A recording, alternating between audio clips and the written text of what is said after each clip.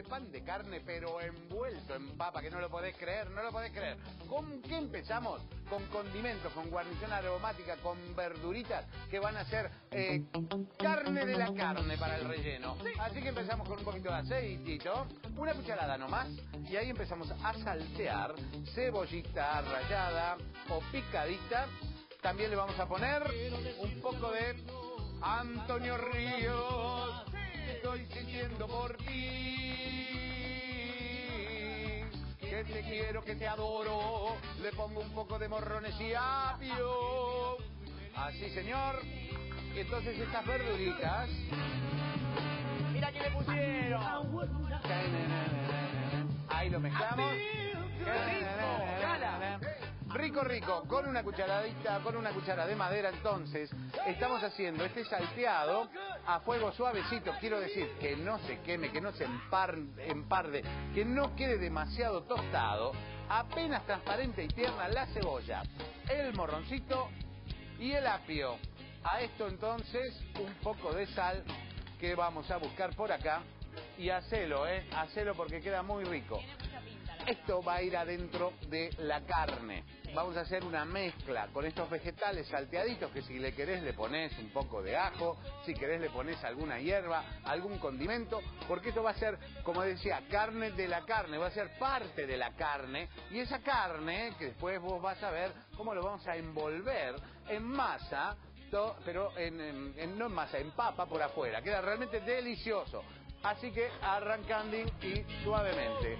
Pimientita, me pasa un poco de orégano, mi querido Darío. Un poquito de orégano.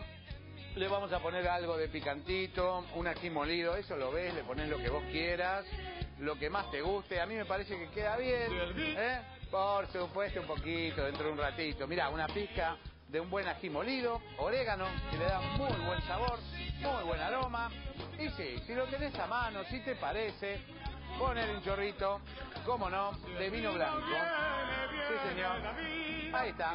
Un cuarto de copita de vino blanco. Eso también va a contribuir en el perfume, ¿eh? Va a quedar bueno. Por otro lado tenés una carne, una carne picada. Una carne que vos hacés picar adelante de tus propios ojos, ¿eh? Al carnicero. Le decís que te lo pique y te lo pase dos veces. Sí. Y entonces esa carne va a ser eh, la, la buena carne que va a recibir estas verduritas Bien. que están aromatizadas con el vino blanco, con el orégano y un poquito picantitas como hemos puesto. Sí, ¿Qué querida. corte nos recomienda para que le pidamos? ¿Roast beef? Carnaza, carnaza de paleta, roast beef, una carne magra que Bien. vos veas que no tiene demasiada grasa ni por fuera Claro. ni intramuscular. ¿eh? Y por supuesto, una carne que es económica y que la haces entonces pasar mm, varias veces, Sí. dos veces, por la picadora. Acá está justamente esa carne y la vamos a ir poniendo acá, en este casco enorme, en este tacho, en esta palangana gigante. Y eh, mientras la vamos separando, le vamos sumando el salteadito que hemos puesto recién. Bien. Todo, todo, todo, todo, todo. Y obviamente que esto, como decíamos siempre, vos le vas a variar, le vas a poner los gustos que a tu familia le gusten, lo que más aprecien. Ah, a mí me gusta cargadito con ajo. Y ponele cargadito con ajo. Ay, yo quiero que salga mucho más jugoso. Entonces, ¿sabes qué? Agarras un tomate y se lo rayás. ¿Sabe que sí? Ay, pero a mí no me gusta el orégano, me gusta, por ejemplo, el romero. Bueno, viejo, ¿dónde está la complicación? Póngale el romero. No se pelee por eso. Usted más que nadie y mejor que nadie conoce los, los gustos de, de su familia. ¿eh?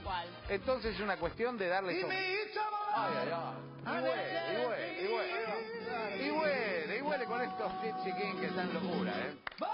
Huele, huele, huele.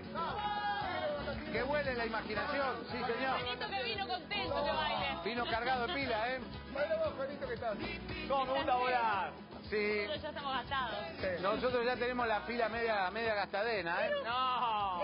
Estamos a mitad una del cosa. año, cara. ¿Qué? A mitad del año, ya acordá, mirá, te impacta la cosa, ¿eh? Ya es 4 de noviembre, No, viejo. no, tremendo. 4 de noviembre, parece mentira. Es tremendo, El tiempo es avasallante, te pasa por encima, es una Este cosa de loco. pasó Ah, Volare volando, ¿eh? Calabrese usted ya está pensando en los asados. Yo ahí. ya tengo todo programado, sí, las vacaciones. Ya en los crucigramas.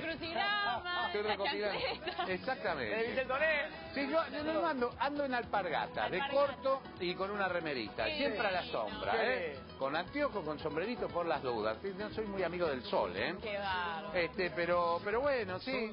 Ya está poco de- este momento. Ya, ya viene, ya se viene, ¿eh? Ya se ¿Ya viene. la fiesta? ¿Cómo la va a pasar, Galán? Estamos en eso, estamos en eso.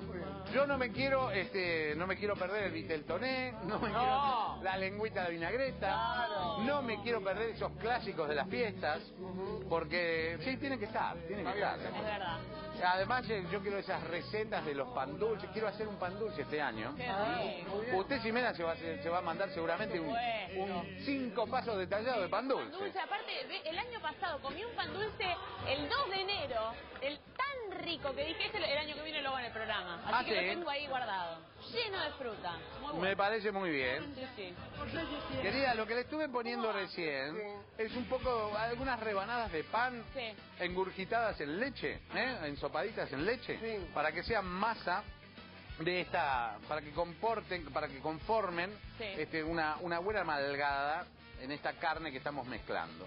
Yo le propongo que me dé un minutito nomás de tiempo, vamos a una pequeña pausa. Y en el próximo bloque vamos a terminar de condimentar y de armar este pan de carne todo envuelto en papa, que es una delicia y no se lo puede perder, ¿eh? Dale, vamos.